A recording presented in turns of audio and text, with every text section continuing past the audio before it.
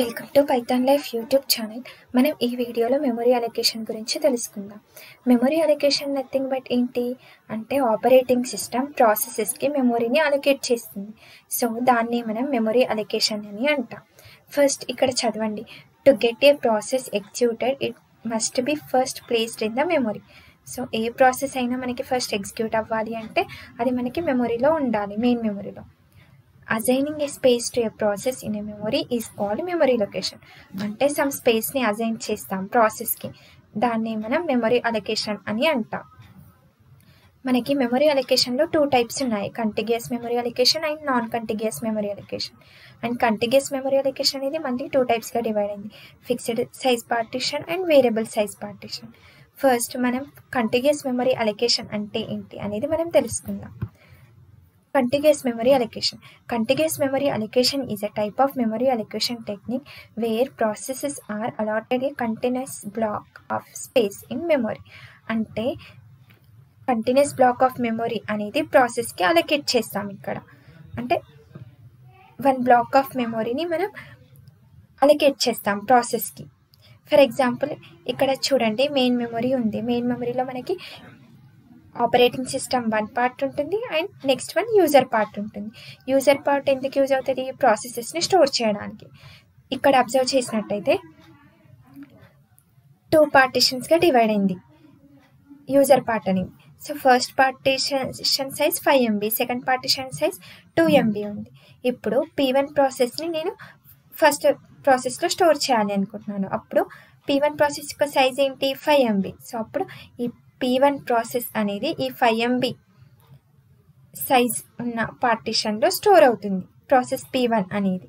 So అంటే ఇక్కడ contiguous black of మెమొరీని మనం అలొకేట్ చేస్తున్నాం ప్రాసెస్కి. సో దాన్ని మనం కంటిగ్యూస్ మెమరీ అలొకేషన్ అని అంటున్నాం. నెక్స్ట్ పాయింట్ చూడండి. This block can be of fixed size for all the processes in a fixed size partition అంటే మనకు ఈ కంటిగ్యూస్ మెమరీ అలొకేషన్ అనేది టూ టైప్స్గా ఇంప్లిమెంట్ చేయొచ్చు. ఫస్ట్ వన్ ఏంటి? ఫిక్స్డ్ సైజ్ పార్టీషన్ చెప్పాను. And second one variable size partition so వాటి గురించి మనం తెలుసుకుందాం. ఫస్ట్ కంటిగ్యూస్ మెమరీ అలొకేషన్ అంటే చూసాం కదా. Next non contiguous memory allocation అంటే ఏంటి అనేది చూద్దాం.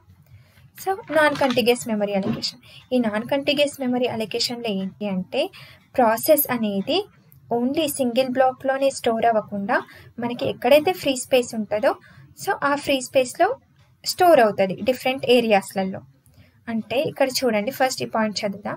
Non contiguous memory allocation divide the process into blocks okay అంటే ప్రాసెస్ని బ్లాక్స్ లాగా డివైడ్ చేస్తుంది.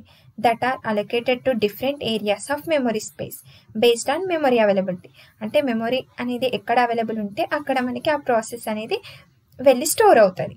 సో దీన్నే మనం నాన్ కంటిగ్యూస్ మెమరీ అలొకేషన్ అంటాం కంటిగ్యూస్ మెమరీ అలొకేషన్లో మనకి ఓన్లీ వన్ పార్టీషన్లో వన్ ప్రాసెస్ అనేది స్టోర్ అయింది. బట్ ఇక్కడ అలా కాదు. చూడండి. ఈ డయాగ్రామ్ని అబ్జర్వ్ చేసినట్టయితే P one process size five MB ఉంది.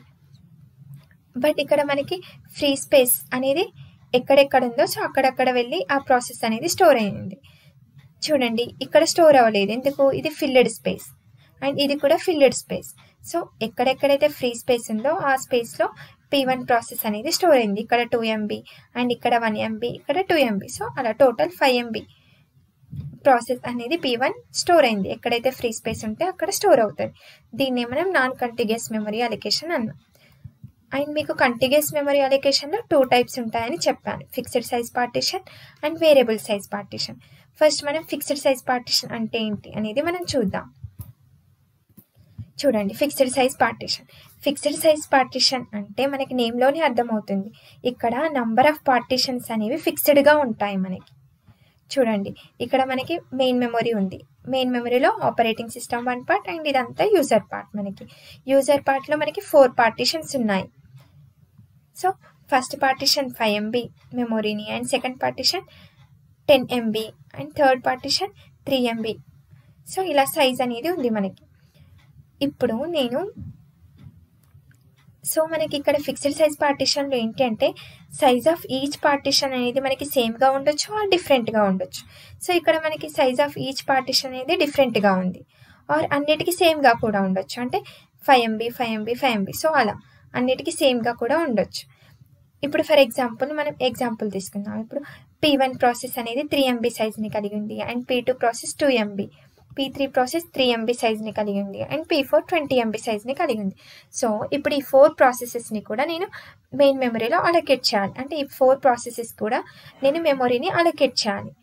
అప్పుడు ఫస్ట్ పార్టిషన్ సైజ్ ఏంటి? మనకి ఫైవ్ ఎంబీ ఉంది. సో అప్పుడు ఈ పీ వన్ ప్రాసెస్ని మనం ఫస్ట్ పార్టిషన్లో స్టోర్ చేస్తున్నాం ఇక్కడ. సో పీ వన్ అనేది ఇక్కడ స్టోర్ అయింది. నెక్స్ట్ పీ టూ ప్రాసెస్ అనేది సెకండ్ పార్టీషన్లో స్టోర్ అయింది. పీ త్రీ ప్రాసెస్ థర్డ్ పార్టీషన్లో అండ్ పీ ఫోర్ ప్రాసెస్ అనేది ఫోర్త్ పార్టిషన్లో స్టోర్ అయింది. సో ఇలా. ఫిక్స్డ్ సైజ్ పార్టిషన్ అంటే ప్రాసెస్ని ఈ విధంగా అలొకేట్ చేస్తున్నాం మనం. సో మనకి ఈ ఫిక్స్డ్ సైజ్ పార్టిషన్ వల్ల మనకి ఫోర్ డ్రాబ్యాక్స్ ఉన్నాయి. అవి ఏంటివి అనేవి మనం చూద్దాం.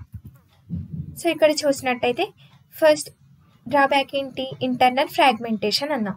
ఇంటర్నల్ ఫ్రాగ్మెంటేషన్ అంటే ఏంటి అంటే ఇక్కడ మనం అబ్జర్వ్ చేసినట్టయితే ప్రాసెస్ పి వన్ని మనం ఫస్ట్ పార్టిషన్కి అలొకేట్ చేసాం. ఓకే అంటే ఫస్ట్ పార్టీషన్ అంటే ఫస్ట్ పార్టీషన్ మెమొరీని మనం పీ వన్ ప్రాసెస్కి అలొకేట్ చేసాం. బట్ ఇక్కడ పీ వన్ ప్రాసెస్ సైజ్ ఎంత ఉంది మనకి? త్రీ ఎంబీ ఉంది. బట్ ఇక్కడ మనకి పార్టిషన్ సైజ్ ఫైవ్ ఎంబీ ఉంది. అంటే రిమైనింగ్ టూ ఎంబీ అనేది మనకి వేస్ట్ అవుతుంది ఇక్కడ. సో దీన్నే మనం ఇంటర్నల్ ఫ్రాగ్మెంటేషన్ అని అంటాం.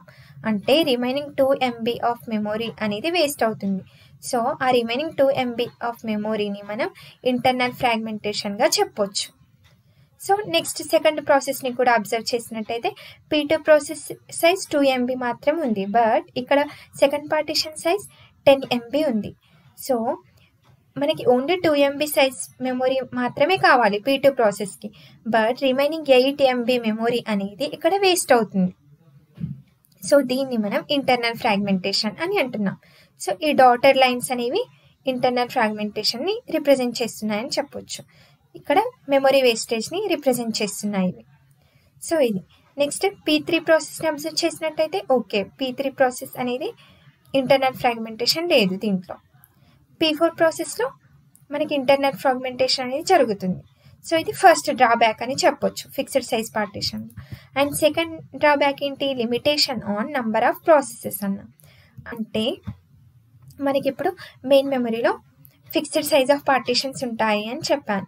అంటే ఇప్పుడు నాకు ఫోర్ పార్టీషన్స్ మాత్రమే ఉన్నాయి మెయిన్ మెమరీలో సో నేను అప్పుడు ఫోర్ ప్రాసెసెస్ని మాత్రమే సిపియు ఎగ్జిక్యూట్ చేయగలుగుతుంది. సో ఇప్పుడు నేను ఇఫ్ హండ్రెడ్ ప్రాసెసెస్ని సైమెంటేనియస్గా ఎగ్జ్ ఎగ్జిక్యూట్ చేయలేను.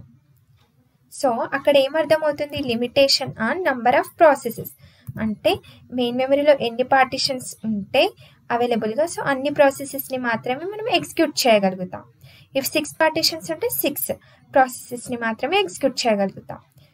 సో అలా. నేను ఇప్పుడు సైమెంటేనియస్గా ఓన్లీ ఫోర్ ప్రాసెసెస్ని మాత్రమే ఎగ్జిక్యూట్ చేయగలుగుతాను. సిపియు సిపియు అనేది ఫోర్ ప్రాసెసెస్ని మాత్రమే సైమెంటేనియస్గా ఎగ్జిక్యూట్ చేయగలుగుతుంది.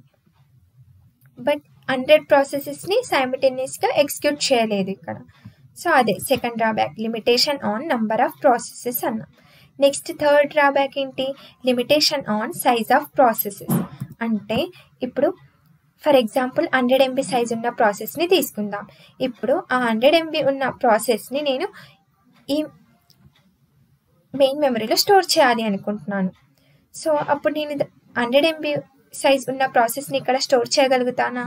నో ఎందుకు? ఇక్కడ ఫస్ట్ పార్టిషన్ అనేది five MB memory and second partition ten MB size three MB size so hundred MB size అనేది లేదు. So we can't store hundred MB size of process అని చెప్పొచ్చు. సో ఏమర్థం అవుతుంది అక్కడ? Limitation on size of processes అంటే size limitation కూడా మనకి డ్రాబ్యాక్ అని చెప్పొచ్చు ఇక్కడ. నెక్స్ట్ ఫోర్త్ డ్రాబ్యాక్ ఏంటి? External fragmentation external fragmentation nothing but even though మనకి మెయిన్ మెమరీలో ఫ్రీ స్పేస్ ఉన్నప్పటికి కూడా అంటే ఇప్పుడు ఇక్కడ చూడండి పీ వన్ ప్రాసెస్ని ఎగ్జిక్యూట్ చేస్తున్నాం బట్ ఇక్కడ టూ ఎంబీ మెమొరీ అనేది వేస్ట్ అవుతుంది. నెక్స్ట్ పీ టూ ప్రాసెస్ని ఎగ్జిక్యూట్ చేసేటప్పుడు ఎయిట్ ఎంబీ మెమొరీ వేస్ట్ అవుతుంది. నెక్స్ట్ పీ ఫోర్ ప్రాసెస్ని ఎగ్జిక్యూట్ చేసేటప్పుడు ఫైవ్ ఎంబీ మెమొరీ అనేది వేస్ట్ అవుతుంది. అప్పుడు టోటల్ ఇప్పుడు ఇక్కడ టూ ఎంబీ అండ్ ఇక్కడ eight MB two plus eight and ఇక్కడ five MB.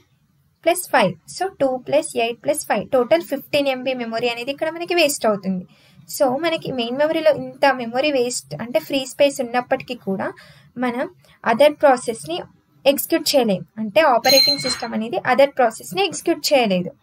Fifteen MB free space ఉన్నప్పటికీ కూడా ఆపరేటింగ్ సిస్టమ్ అనేది అదర్ ప్రాసెస్ని ఎగ్జిక్యూట్ చేయలేదు. సో దాన్ని మనం ఎక్స్టర్నల్ ఫ్రాగ్మెంటేషన్ అని చెప్తాం. సో ఇది fixed size partition I think ఇప్పుడు ఫిక్స్డ్ సైజ్ పార్టిషన్ అంటే ఏంటి? అండ్ దాని డ్రాబ్యాక్స్ కూడా అర్థమయ్యాయి అనుకుంటున్నాను.